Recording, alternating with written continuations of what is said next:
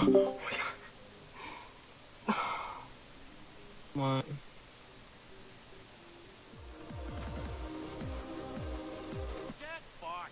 W.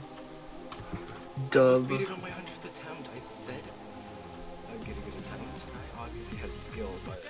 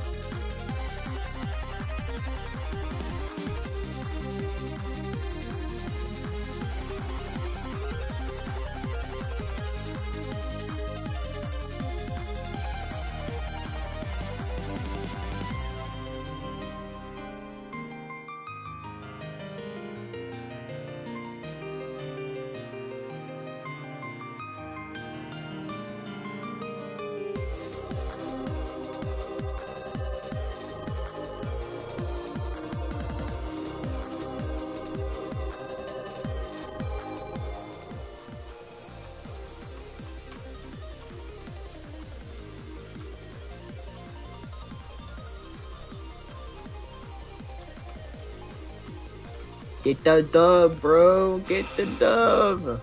Watch you die at the last straight fly. Literally in under 24 hours. nice. think. I mean, I think. Cataclysm isn't our particularly difficult extreme demon. No, but I wanted to beat it eventually. That was fun. Kinda. Besides the first wave. Those are here. GG. Look at look at what I